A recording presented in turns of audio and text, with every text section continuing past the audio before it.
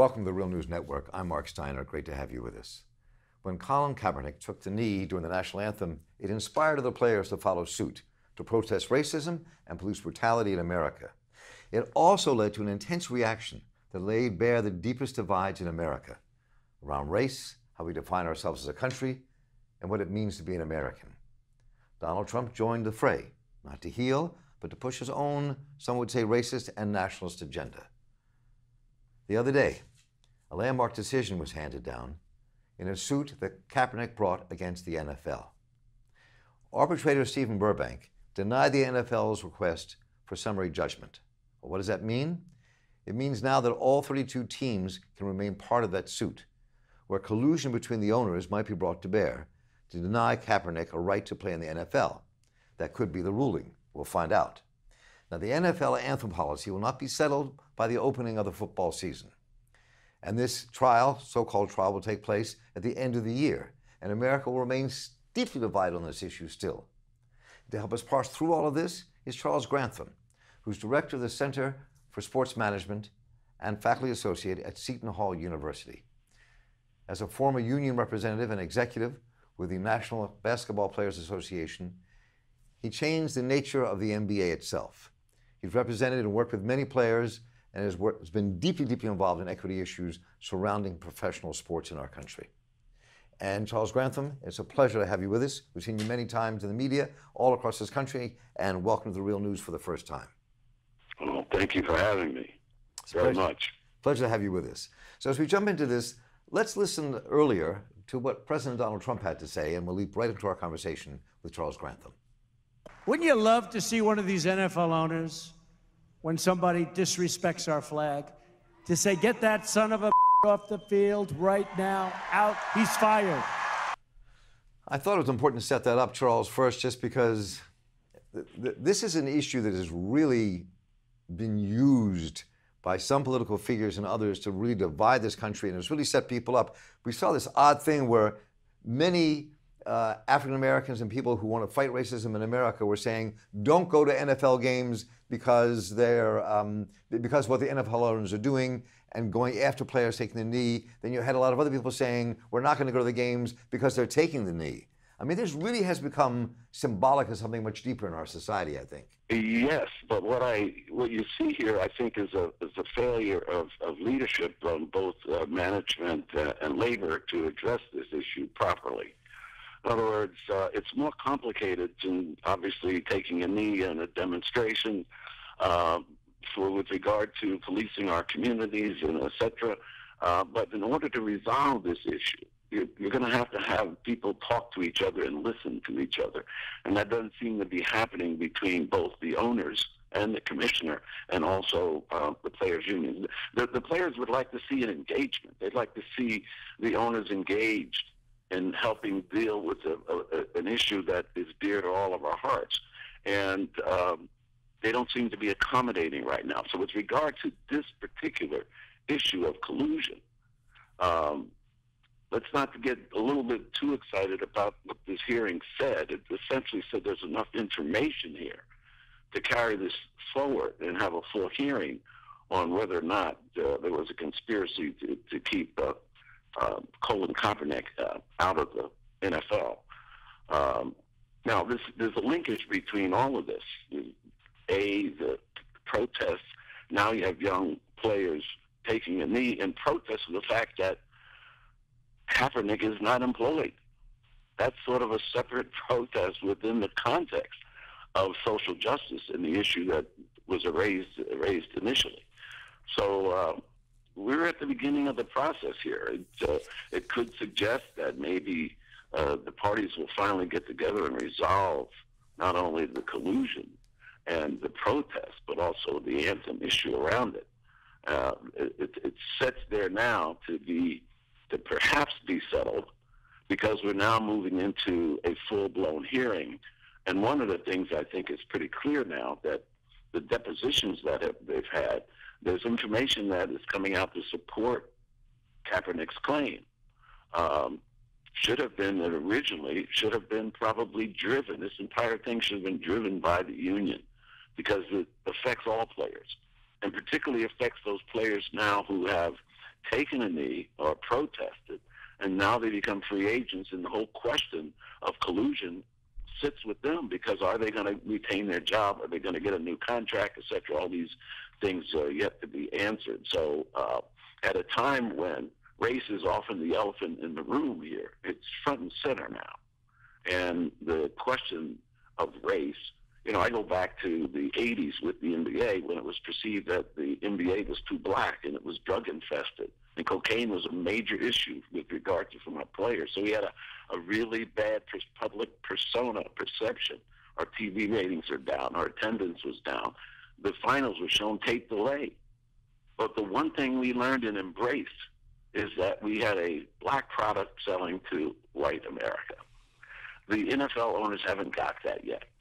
That 80% of the players are black because they embrace our culture.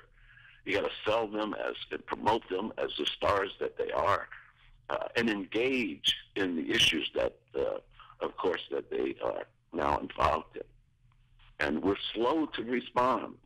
And here, the president of the United States putting his finger in the relationship between players and owners, which is a collectively bargained relationship, and which the idea of a mandatory stand for the national anthem was never embodied in that agreement. So they weren't really in violation of the agreement in the first place.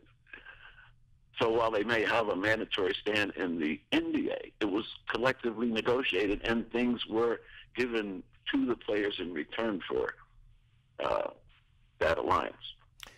So we're we're right in the middle here. It doesn't look like there's any time soon that you're going to see a resolve. Um, but one thing is for certain: that Colin Kaepernick, the fact that they said we were not going to dismiss the charge, that we are now going to present it for a full-blown hearing, and there'll be far more and many more depositions, far more facts to come out. Uh, I'm of the belief at some point there, there's a settlement here because I don't believe in the end the NFL would like to hear or have some of those things become public. Um, and nor do I believe that the idea that if in fact the players prevail, there's an opportunity therefore to blow up the entire collective bargaining agreement, which I doubt will happen. So there are a lot of factors here. But the biggest factor that made this so national was that for the first time we saw a president involve himself in an employer-employee relationship that really had nothing to do with him on the one hand. On the other hand, there are several owners who are his staunch supporters. So as soon as that dialogue was created between the president and various owners, you knew that this had to take on a more serious uh, implications because there were conversations that took place between so, the president and some of those owners. So let me ask a couple of questions of what you just said. Um, mm-hmm. So if it is shown that there was collusion with the owners to deny Colin Kaepernick the right to play, I mean, what what could be the possible outcome of this? I mean, you, I know you said earlier that they may settle this early so that does not happen and all the things will not come tumbling out uh, in terms of what the owners and other people have said. But I mean, what what can be the effect of all of this in terms of what it would mean for the NFL, other players? I mean, and if and if collusion was if collusion was proven or, or shown in in a large way to be to most likely be the fact the fact in the case, what would that really mean? Well, first of all, there's damages for Colin Kaepernick in terms of how much money would be involved. Of course, um, usually collusion in antitrust cases like this you're talking about triple damages or you're talking a substantial amount of money. And how it may affect the whole concept of free agency going forward is yet another issue that would have to be resolved. Um, so the ramifications could be great, but that's also why I believe that between now and as this thing is drawn out in terms of its process, it could be another four, five, six months, that the parties will come to terms with some other resolve or some way to settle this thing without it getting to the point where uh, the, the NFL is proven guilty. And, and, and by the way, you know, clear preponderance of evidence is a very high standard. And they know that as well. So that time is going to go by here, and I think you'll start to see some adjustments. But I don't believe that um, we'll see the agreement being blown up. Um, I don't think that it's going to be the, maximum penalty that could be uh, awarded here, which would be substantial financial damages. But at the same time, you've got to consider a better system in terms of the players who have protested or and or the players who are likely to become free agents and how they're going to be affected in a system like this. Because collusion is a real difficult thing to prove, but it also is very damaging to your sport if, in fact, that is uh, uh absolutely proven. So there are two things here that I wanted to ask you before we conclude. And one has to do with a quote that you uh, made that was in The Hill, which is the newspaper on Capitol Hill that comes out of Washington, D.C. And the quote is Politically, if you're an arbitrator in a case as big as this, there's no way to throw it out. We knew that as soon as Donald Trump put his finger, fingerprints on the issue. So, so right. flesh that out for us. What, what, what's behind yeah, that well, statement? flesh it out is an arbitrator is different than a judge. So that an arbitrator is is a lot more, let's say, uh, vulnerable to politics simply because he's paid by both sides, and both sides have to agree to retain him. So he has a tendency to try to get the parties to resolve this and settle it in some way. So as soon as the president put his finger in, then all of a sudden that question of collusion, the collusion from the standpoint of donors who had supported him financially, then you knew that this was going to take on just a greater importance than the typical grievance that may come down the pike here. Um, and so I knew that was going to go to the full hearing. There's no way that he could throw this one out. A, because of the public pressure. B, internally, and C, the players who who have uh, sacrificed their careers here at this point. Far more important than uh, the initial, let's say, a, a grievance that is normally filed. So, and remember that he's not a, a judge. Usually, cases like this in the past have been handled by what we call a special master. That means that the court would oversee this agreement, and it takes on more of a, a judicial and legal uh, trial. Whereas a hearing in arbitration is not really a trial, it's a hearing. And you don't have a judge, you have an arbitrator, and an arbitrator who is compensated by both parties. So the grievance and the grievance mechanism in terms of dispute resolution is different than going through the courts. So one thing I, I know that you're not a political commentator, and know that you're not a, a, answer these kind of questions in terms of the, the kind of the, the philosophically where our country is going. But to me, at the heart of this question, beyond what happens with the arbitrator and how this falls out in in December, we have a football season upon us, where probably an agreement will not take place around the anthem. I know we're going to see more comments from uh, Donald Trump. Uh, this will continue to divide, to divide, America.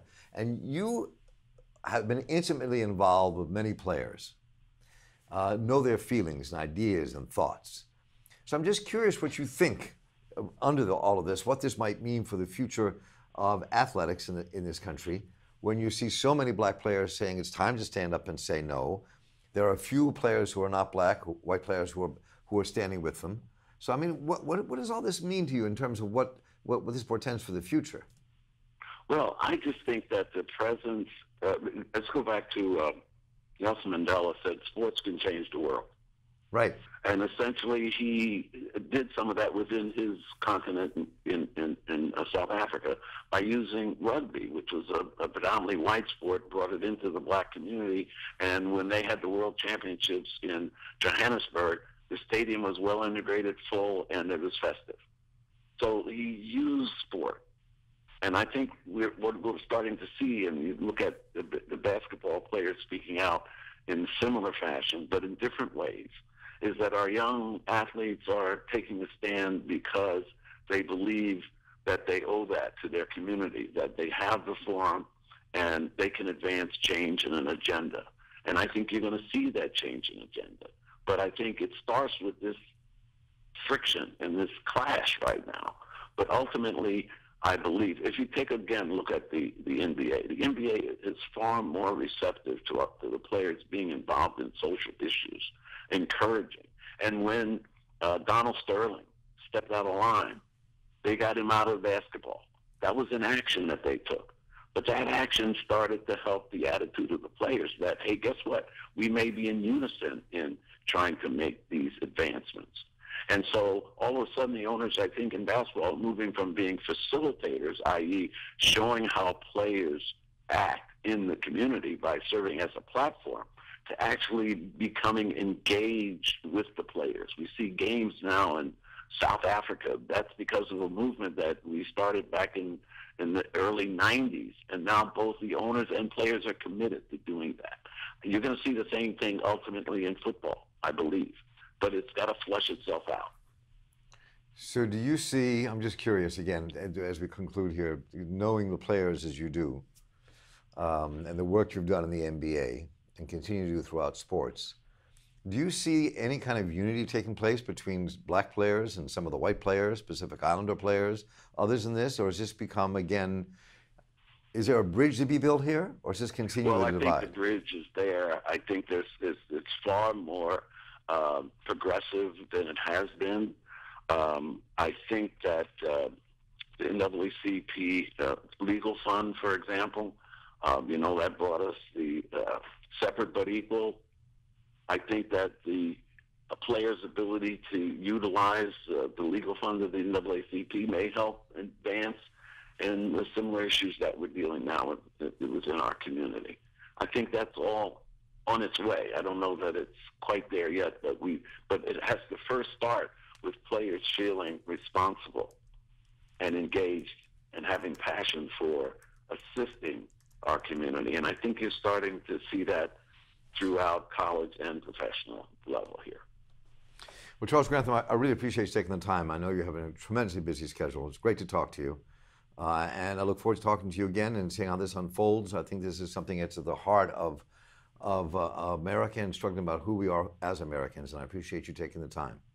Totally agree with you. Just keep an eye on it. It's maybe slow. It's going to take some time, but uh, I think ultimately we're going to see a resolve. Nothing wrong with slow sometimes. Yes. thank you so much, Charles. Okay, thanks for having me. Thank you. Bye bye. Thank you for so much. And thank you all for being with us here. I'm Marc Steiner of the Real News Network. Take care.